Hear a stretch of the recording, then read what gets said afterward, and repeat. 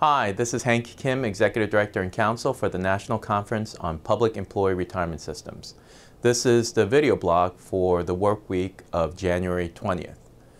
In the past, I'm sure you've heard me talk about our Secure Choice Pension Initiative, uh, an effort to get a state-based private sector retirement uh, security uh, for those in the private sector, particularly those who work for small businesses who have access to no employer-sponsored uh, retirement uh, plan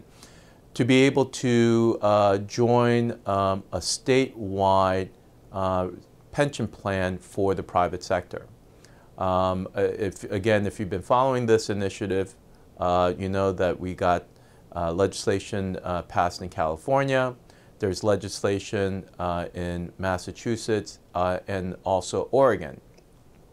Obviously, these uh, states are blue states. And what I want to talk about today is an effort in Indiana, which is a decidedly a conservative Republican state. Um, uh, there is a, a, a, state representative, a Republican state senator, excuse me, um, who introduced earlier this year uh, Senate Bill 66, which in some ways is uh, very much similar to the California initiative where it would allow uh, folks in the private sector of Indiana to save uh, essentially uh, with the defined contribution plan, but it would be managed at the state level and thereby reducing administrative costs and fees associated, the high fees associated with saving uh, with uh, essentially mutual funds and retail um, uh, retail funds. Um, I, think you know this is noteworthy because um, the the sponsor of the bill is a Republican state senator,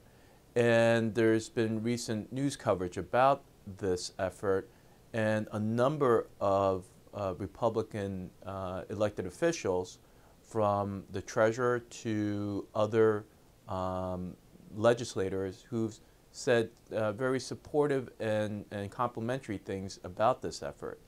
And again, what they've noted is that in their state, in Indiana, there are a significant number of folks in the private sector who do not have access to uh, employer-sponsored retirement savings plans, and they are facing retirement insecurity. And while some of them have expressed initial uh, resistance to this proposal, the more they thought about it and the more they read on it, um, they became uh, convinced that this was the right approach. So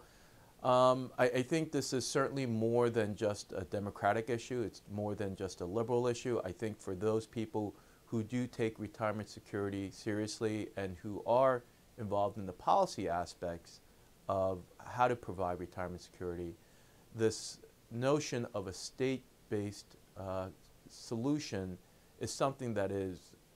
that is appealing to uh, both sides of the political spectrum. So I thought this was uh, a, a, very interesting development. The legislative um, uh, likelihood of uh, this uh, SB 66 um, passing in Indiana is, I would say, a long shot but we will certainly work with those in Indiana to uh, see if we can get that uh, process moving and, and move the ball down the, uh, the legislative football field, as it were.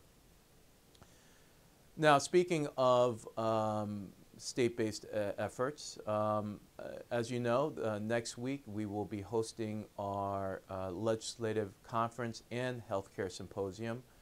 January 26th through the 28th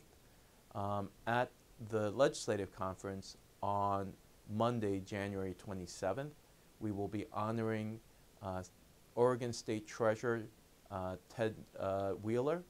who has been a very much a vocal leader in this concept of a state-based retirement solution for the private sector. So hopefully you guys uh, who are listening uh, will be able to uh, join us in Washington, D.C for either the legislative conference or the healthcare symposium or both. Thank you for, for tuning in and I look forward to talking to you in the near future.